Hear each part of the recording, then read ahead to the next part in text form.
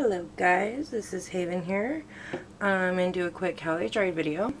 I realized I had about five pieces or so done up that I hadn't done a dried video. So here we go. Here is my lovely Kiss Pour Gone Wrong, but Try to Save. I have not sealed these yet. They need about another week or so to cure before I do that. Um, I like it. It's okay. Still not 100% happy with it, but it didn't come out too bad and it dried pretty nice. So, yeah, it's interesting. And here is my flip cup for my, you know, after I did the kiss pour that went wrong.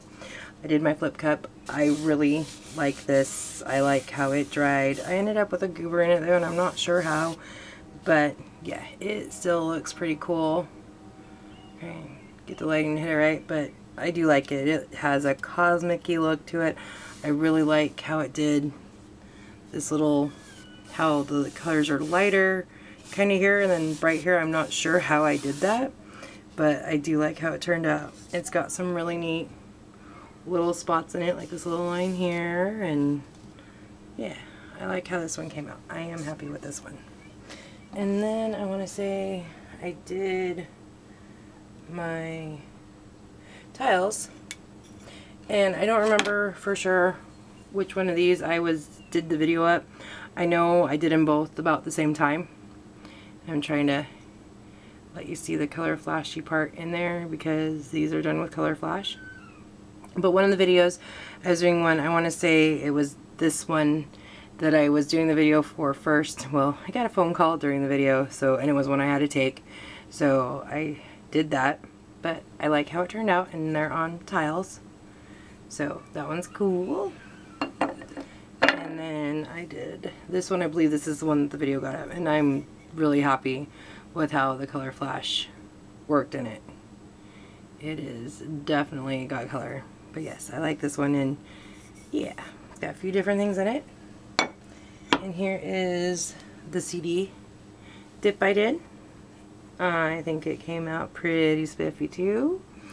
Um, I put a piece of painter's tape on the back of it, but this little part here technically would be a skin that's dried, and I want to, it did get a little poked. I don't want to ruin them because these are real. These are ones I can put something to hang them on the wall, do something. So I think I'm going to take a piece of like cardstock and do a circle and then glue it to the back of the CD so I can protect that spot a little bit more and make it easier to hang something up to. And I think I am going to go ahead and do spray paint some of my CDs though because I do see a little silver came through and stuff to kind of seal them before I do paint them. But there's that one. And this is the dip I did on the little 4x4 canvas that I did after doing the CD. I like how it turned out. It's pretty with color shift colors too. And here is the, okay, here's the way the bottom, bottle, bottom pour dried. I'm liking it. The gold looks really neat. And I really like how the white actually came through it, even though I did the black and the purple and stuff in it. I do like how the white lines pop through with it. It looks pretty cool. So yes, I'm happy with this one. But see, just a simple wood disc that I picked up. And yeah, it's got the grains through it. And got the grains through it. It still looks cool. And then here is my tile did with the glow-in-the-dark paints. I, however, I am the one, not the kids. I touched it thinking it was dry. It looked dry, and I was wrong. So, yes, I messed it up a little bit, but it's probably one I'm going to keep anyway because it glows in the dark and looks really awesome under a black light. So I'm not too terribly heartbroken about it, but still bummed all at the same time. But yeah, so there is my beautiful how they dried. In fact though, this one I did just a couple days ago, so some of it is still, it's a little tacky still, but it's not wet anymore. But yes, and I want to comment too, I noticed I did hit 100 subscribers. I still haven't done my 50 subscriber pours that I need to do, they are in the works of going to try and get them done within the next week or so. Um, but yeah, I'm going to, I think, just with how things are going right now, and I got a lot of stuff that needs sealed, so I really have nothing to do a giveaway thing for. I'm gonna wait till I hit 200 subscribers and do a giveaway.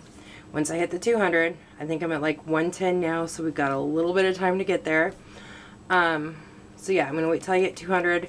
Once I hit 200, I will do a small giveaway. More than likely, it'll either be like for a tile I've done, or maybe even some of my little resin things I've been playing with, or a little 6x6 canvas just because then it won't be so much to ship. And, or even one of my little canvas dip things that I've done. So I haven't decided yet, but it's probably going to be something small for shipping. And yeah, so just wanted to throw that out there, let you guys know that. I want to thank you for watching. Like, share, subscribe. If you do see any of these that you absolutely like and think you need, leave a comment below or email me and we can talk something out on it. Okay, have a great day. Again, thank you for watching. And don't forget to laugh because a day without laughter is a wasted day. And we will talk to you next time. Bye.